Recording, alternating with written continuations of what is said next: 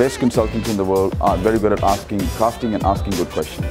That's why when they say to a client, I have the solution for you, the client understands that that solution is perfectly tailored. You see, the suit is perfectly tailored to my body precisions. You understand? There's a difference in wearing a suit that's not perfectly tailored versus one that's perfectly tailored. So when your response is perfectly tailored, the client feels it was made for them and they buy it. It's very hard for me not to buy a suit like this when it's perfectly tailored. But if the full suit was not perfectly tailored, I may think about it. I will have doubts. So if your response is not perfectly tailored, your clients may not be committed to buying that response or that proposal or that solution that you're offering. So tailor the solution to the client, but you can only tailor it if you know the specifications. You know absolutely everything about them. But you can't know everything about them if you're asking general questions because you ask general questions, they give you general responses.